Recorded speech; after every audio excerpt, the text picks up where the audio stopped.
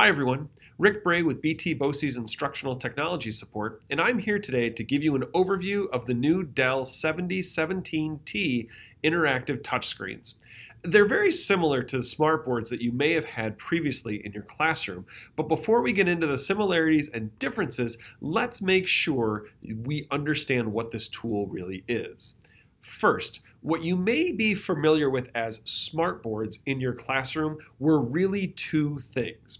There was the actual physical board that allowed you to interact with your computer. Then there was the Smart Notebook software that you may have used to create class materials. The Dell screen takes the place of the physical smart board in your class, in this case. It's a touch interface that allows you to manipulate your computer via the screen. The Dell screens have some major advantages over smartboards. First, smartboards work by physical touch. There were two layers inside the board itself with a very small space separating them that had to actually make contact in order for the board to realize there was touch happening.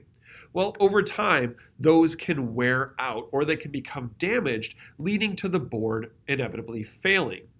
The Dell screen instead works on infrared sensing. If you look around the bezel of your screen, you'll see a thin strip, and that's where the infrared beams are projected from. This area creates a harmless, invisible infrared network. The screen knows that you touched it when something breaks that plane. There's no need to actually touch the screen, but it's perfectly fine if you do so.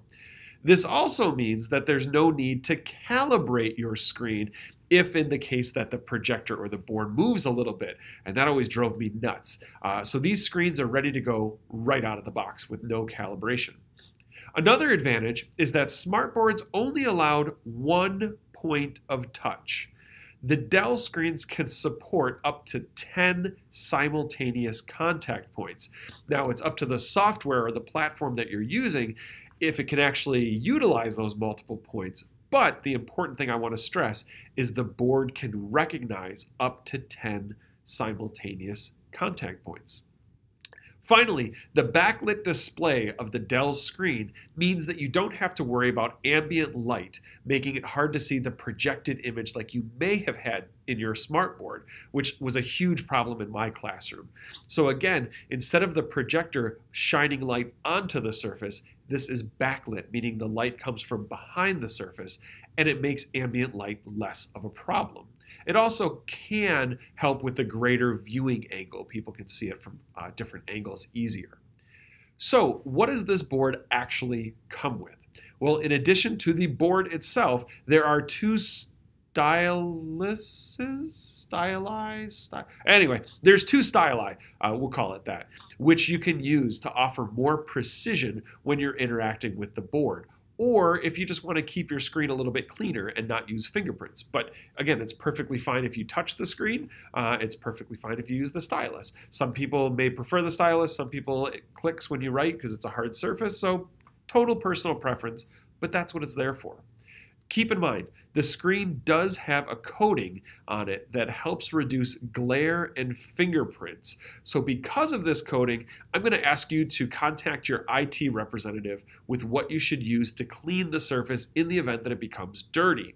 Uh, I can tell you right off the bat, Windex is probably not going to be a good solution. Stuff like Windex could dissolve that layer away. So we don't want to do that. Uh, the screen also comes with a remote, uh, and I've included a link in the comment section of this video to a copy of the screen's user manual, and page 8 and 9 show what all of the remote buttons do, but here are some that I thought would be really good to know. First, the input button. That's going to allow you to switch the input coming into the screen, which is going to be helpful if you have multiple input sources, maybe like your computer, uh, a DVD player, a document camera, etc. The brightness, you can turn up or down the brightness of your screen as you see fit. Uh, just keep in mind, in the long run, the brighter your screen, the shorter its lifespan. So just something to keep in mind with that one. Uh, the preset modes. This allows you to toggle between different color settings And I think you can program in your own preset modes, which means you can have a dark setting and a light setting. So you can just flip it instead of having to scroll the brightness button up and down. Mute, kind of self explanatory, it gives an audio mute. And then you have the ability to hide your screen. Uh, when you press the left button on the directional pad, that causes this interactive screen to go white. I'm not sure if you can change that, like maybe to make it go black, um, but I'm going to look into that. To exit this uh, hide screen mode, just hit the right button. You might think to hit the left again, but you hit the right button. So going back to what we said earlier, this Dell screen replaces the physical smartboard in your classroom.